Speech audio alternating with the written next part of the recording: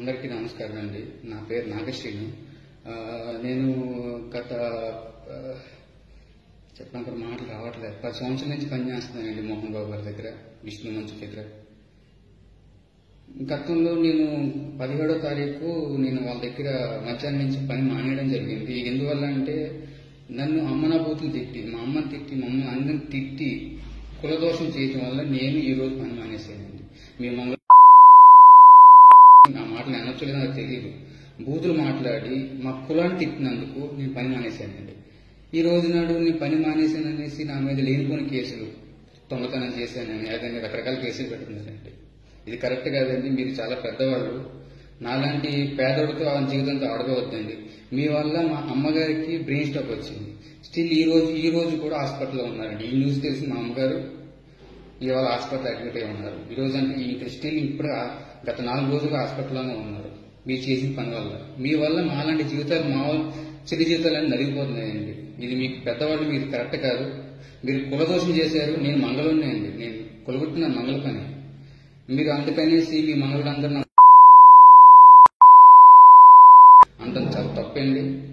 విష్ణుబాబు నా మీద కేసు వేశారు.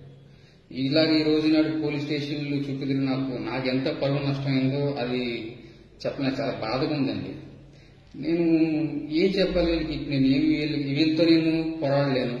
నేను నా నార్మల్ జీవితం నాది. ఏదో రెండు ఏకర్ ఏ కట్లు చేసుకుంటాను ఒక మంగళం నేను.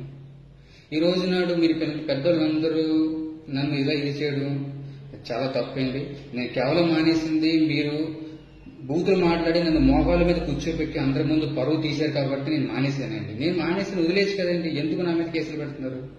నేను ఏం చేసిన కేసులు పెడుతున్నారు? దొంగతనం కేసులు పెడతారా?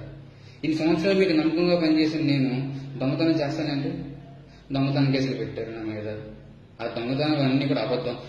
నన్ను మోహన్ బాబు గారు మోకాళ్ళ మీద కూర్చోబెట్టి అమ్మ నా బూతులు పెట్టడం నా కులాన్ని దూషించడం సీసీటీవీ ఫుటేజ్లో ఉందండి. మోహన్ బాబు ఆఫీ- మన విష్ణు మంచు ఆఫీస్ కాకర హిల్స్లో నన్ను మోకాళ్ళ మీద కూర్చోబెట్టి తిట్టారు. మీరు కావాలంటే ఆ సీసీటీవీ ఫుటేజ్ చెక్ చేయొచ్చు ఒకసారి.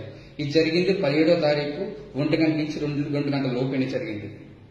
మీరు దయచేసి అధికారులు ఇది దీని గురించి కొంచెం నాకు పెద్దగా మాట్లాడ రాదండి. దీని గురించి పెద్దవాళ్ళు కొంచెం దయచేసి దీని మీద ఏదైనా యాక్షన్ తీసుకుంటారని నాలాంటి చిన్న జీవితాన్ని నాశనం చేయొద్దని కోరుకుంటున్నానండి.